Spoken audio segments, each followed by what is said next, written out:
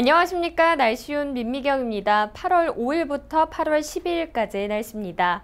이번 예보 기간 고기압의 가장자리에 들어 가끔 구름 많겠지만 5일 오후에는 서울 경기도와 강원도 영서에서 대기 불안정으로 소나기 오는 곳이 있겠습니다. 기온은 평균과 비슷하거나 조금 높겠습니다. 다음은 서울과 수도권 지역의 중기예보를 알아보겠습니다. 이번 예보 기간 서울과 수도권 지역 고기압의 가장자리에 들어 가끔 구름 많은 날씨를 보이겠습니다. 5일 오후에는 대기 불안정으로 인해 소나기 오는 곳이 있겠습니다.